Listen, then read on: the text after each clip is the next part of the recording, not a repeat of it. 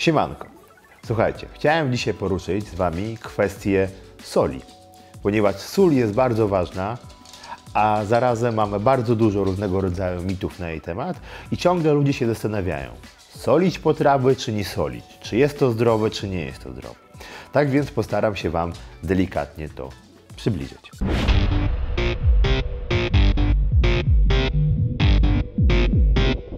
Samym początku odpowiedzmy sobie na podstawowe pytanie.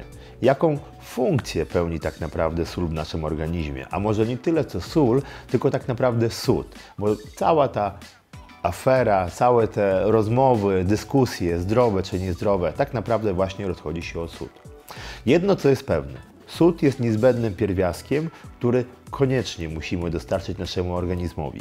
Są pewne ilości, które są nam niezbędne i jeżeli chcemy, żeby nasz organizm poprawnie funkcjonował, sód należy dostarczyć wraz z pożywieniem. Jeżeli chodzi o funkcję, jaką pełni sód, to oczywiście taką najbardziej popularną i o której możemy najczęściej usłyszeć, że odpowiada on za poprawne nawodnienie naszego organizmu. Sód zatrzymuje wodę w organizmie, ale nie jest to złe. Złe to może być wtedy, kiedy zatrzymujemy nadmiar wody, ale pewne ilości w naszym ustroju muszą być zatrzymane, aby nasz organizm mógł poprawnie funkcjonować. Kolejna funkcja, o której rzadko się mówi stosunkowo, to sód jest niezbędny do prawidłowego wykorzystania niektórych składników pokarmowych, a między innymi mowa tutaj o glukozie i o aminokwasach. Tak więc jeżeli w naszej diecie będzie zbyt mała ilość sodu, nie będziemy w stanie poprawnie wykorzystywać tych składników odżywczych. Powiedzmy, że ostatnia funkcja sodu, która jest dla nas dosyć również istotna, szczególnie dla osób trenujących, to jest taka, że sód jest niezbędny do prawidłowego skurczu i pracy mięśni i tutaj uwaga, między innymi naszego serca, a na dodatek również sód jest niezbędny do odpowiedniej pracy naszego układu nerwowego. Jeżeli dojdzie do niedoboru sodu, inaczej nazywamy to hiponatremia, możemy doprowadzić do nieprawidłowej pracy naszego układu mięśniowego, nerwowego, odwodnienia organizmu. Tak więc tych skutków ubocznych e, jest stosunkowo dużo. Może to prowadzić do stanów depresyjnych, znużenia, zmęczenia itd. Tak i tak dalej. Tak więc cud jest oczywiście nam niezbędny i jeżeli chcemy odpowiedzieć sobie na pytanie, czy należy solić potrawy, można powiedzieć, że oczywiście jest to nam potrzebne. Jest tylko jedno ale. Jeżeli przyjrzymy sobie wszystkie prace naukowe, wszystkie zalecenia, jeżeli chodzi o ilość spożywanego sodu, to oczywiście zawsze zauważymy, że sód zawsze jest obok potasu i tak naprawdę najważniejsza tutaj jest korelacja, czyli odpowiedni stosunek. Jednak okazuje się, że my ludzie spożywamy bardzo często na odwrót, zbyt małą ilość potasu, a zbyt dużą ilość sodu.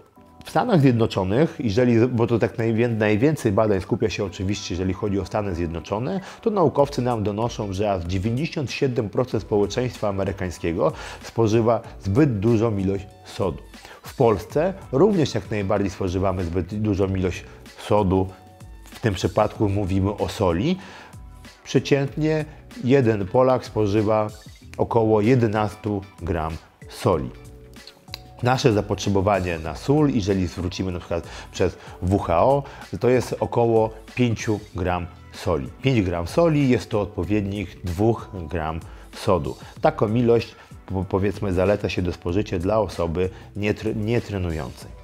U osób trenujących sytuacja wygląda troszeczkę inaczej. I tutaj musimy szczególnie zwrócić uwagę, ponieważ bardzo często dochodzi do tego typu paradoksu, że osoba, która zaczyna trenować, jednocześnie zaczyna się zdrowo odżywiać. Zdrowe odżywianie bardzo często gdzieś tam zaczyna się utożsamiać właśnie z ograniczaniem soli.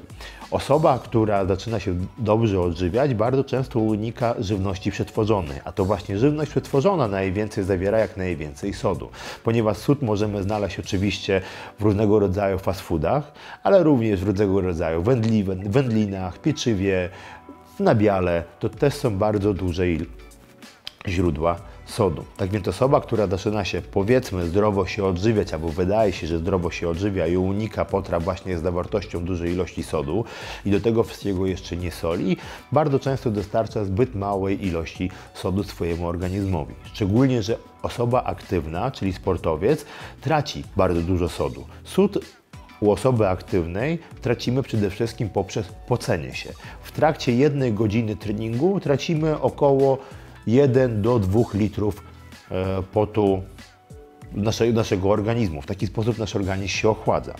Jeżeli chodzi o ilość sodu, to tracimy od 450, a nawet do 2 gram sodu możemy stracić wraz z jednym litrem potu. Więc jak widzicie, to zapotrzebowanie osób trenujących na sód jest zdecydowanie większe.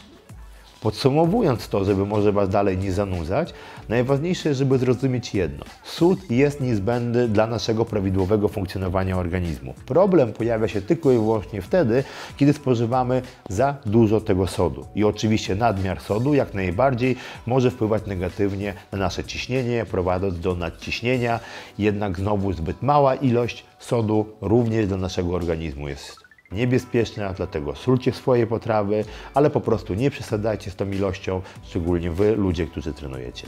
Trzymajcie się. Piona.